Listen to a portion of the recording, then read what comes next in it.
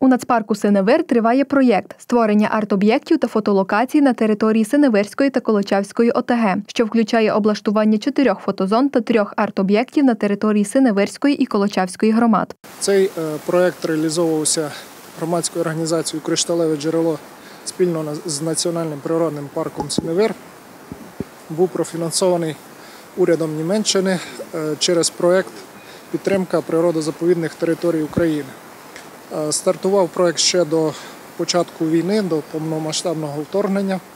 Відбувся конкурс місцевих ініціатив, і цього року він був реалізований. Фотозону створив місцевий художник Леонід Беца. Чоловік зобразив портрет чарівної хранительки прелісів мавки, про яку існує чимало легенд. Образ мавки є символом єдності природи та людини. На території Національного природного парку Синевир створено в рамках проекту три арт-об'єкти, які знаходяться біля реабілітаційного центру Бурого ведмедя, в урочищі Квасовець та е, в урочищі Глуханя.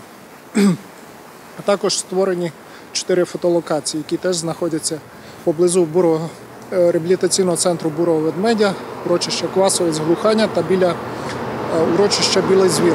Створення таких арт-об'єктів допомагає розвивати туризм на території нашого краю та привертає увагу до цікавих локацій парку. Я думаю, що це актуальний проект, тому що він сприяє залученню е, та розвитку туризму на території громад і е, дозволяє відвідувачам парку е, звернути увагу на інші такі природні об'єкти, які не є настільки популярні, як, наприклад, озеро Синевир. Туристи, які вже встигли побачити фотозону, кажуть, що вона буде цікавою не тільки для дітей, а й для дорослих, адже портрет мавки вкотре нагадує бережіть природу. Дуже гарні, так, мені дуже сподобалось. Так само, тому що язичницька культура, я вважаю, має бути збережена і надалі.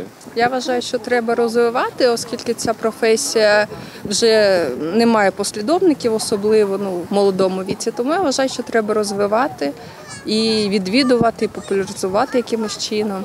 Ну, Дуже гарно. Ініціатива реалізовується завдяки співпраці громадської організації Кришталеве джерело з Національним природним парком Синевир.